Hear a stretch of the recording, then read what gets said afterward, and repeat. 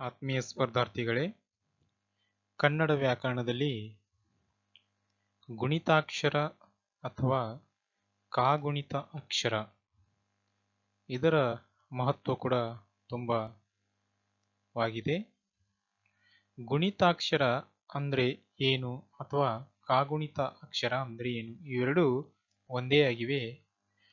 ಬೇರೆ ಬೇರೆ ರೀತಿಯಾಗಿ ಇವುಗಳನ್ನ ಕರಿತೀವಿ ಹೊರತು ಗುಣಿತಾಕ್ಷರ ಅಂದ್ರೂ ಒಂದೇ. ಕಾಗುಣಿತ ಅಕ್ಷರ ಅಂದ್ರೂ ಒಂದೇ. ಸೊ, ಮೊದಲು ಇದರ ಅರ್ಥವನ್ನ ನೋಡೋಣ.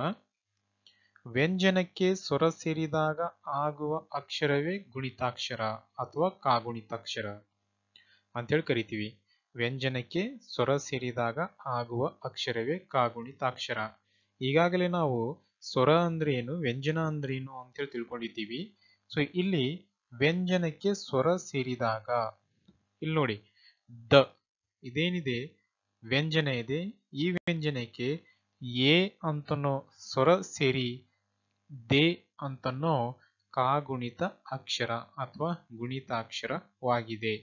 ಅದೇ ರೀತಿಯಾಗಿ ವ ಅನ್ನುವ ವ್ಯಂಜನಕ್ಕೆ ಅ ಅನ್ನೋ ಸ್ವರ ಸೇರಿ ವ ಎನ್ನುವ ಗುಣಿತಾಕ್ಷರವಾಗಿದೆ. ರ ಎನ್ನುವ ವ್ಯಂಜನಕ್ಕೆ ಉ ಎನ್ನುವ ಸ್ವರ ಸೇರಿ ರು ಎನ್ನುವ ಗುಣಿತಾಕ್ಷರವಾಗಿದೆ. ಇನ್ನು ಜ ಅನ್ನೋ ವ್ಯಂಜನಕ್ಕೆ ಅ ಅನ್ನೋ ಸ್ವರ ಸೇರಿ ಜ ಅನ್ನೋ ಗುಣಿತಾಕ್ಷರವಾಗಿದೆ. ಕ ಅನ್ನೋ ವ್ಯಂಜನಕ್ಕೆ ಅ ಎನ್ನುವ ಸ್ವರ ಸೇರಿ ಕ ಎನ್ನುವ ಗುಣಿತಾಕ್ಷರ ಅಥವಾ ಕಾಗುಣಿತಾಕ್ಷರವಾಗಿದೆ. ಕ ಅನ್ನೋ ವ್ಯಂಜನಕ್ಕೆ ಇ ಅನ್ನೋ ಸ್ವರ ಸೇರಿ ಕಿ ಅನ್ನುವ ಗುಣಿತಾಕ್ಷರವಾಗಿದೆ. ಹೀಗೆ ವ್ಯಂಜನಕ್ಕೆ ವ್ಯಂಜನಕ್ಕೆ ಸ್ವರ ಸೇರಿ ಆಗುವ ಅಕ್ಷರವನ್ನು ನಾವು ಗುಣಿತಾಕ್ಷರ ಅಂತೇಳಿ ಕರಿತೀವಿ. ಇನ್ನು ಒಂದು ವ್ಯಂಜನಕ್ಕೆ ಅದಿಂದ ಅವರೆಗೆ ಹದಿಮೂರು ಸ್ವರಗಳು ಸೇರಿದರೆ ಹದಿಮೂರು ಗುಣಿತಾಕ್ಷರಗಳಾಗುತ್ತವೆ. ಒಂದು ವ್ಯಂಜನಕ್ಕೆ ಅದಿಂದ ಅವರೆಗೆ ಹದಿಮೂರು ಸ್ವರಗಳು ಸೇರಿದರೆ ಹದಿಮೂರು ಗುಣಿತಾಕ್ಷರಗಳಾಗುತ್ತವೆ. ಉದಾಹರಣೆಗೆ ಕ ಎನ್ನುವ ವ್ಯಂಜನಕ್ಕೆ. ಅಂದ್ರೆ ಒಂದು ವ್ಯಂಜನಕ್ಕೆ ಅಂದ್ರೆ ಇಲ್ಲಿ ಉದಾಹರಣೆಗೆ ಒಂದು ವ್ಯಂಜನ ತೆಗೆದುಕೊಳ್ಳೋಣ. ಕ ಎನ್ನುವ ಒಂದು ವ್ಯಂಜನವನ್ನ ತೆಗೆದುಕೊಳ್ಳೋಣ. ಕ ಅನ್ನೋ ಒಂದು ವ್ಯಂಜನ. ಈ ಕ ಅಂತನೋ ವ್ಯಂಜನಕ್ಕೆ ಅದಿಂದ ಅವರೆಗೆ ಇರುವಂತಹ ಹದಿಮೂರು ಸ್ವರಗಳು ಯಾವುವು? ನಮಗೆ ಈಗಾಗಲೇ ಗೊತ್ತಾಗಿದೆ. ಹದಿಮೂರು ಸ್ವರಗಳು ಅ, ಆ, ಇ ಈ ಉ, ರು, ಎ ಎ, ಐ.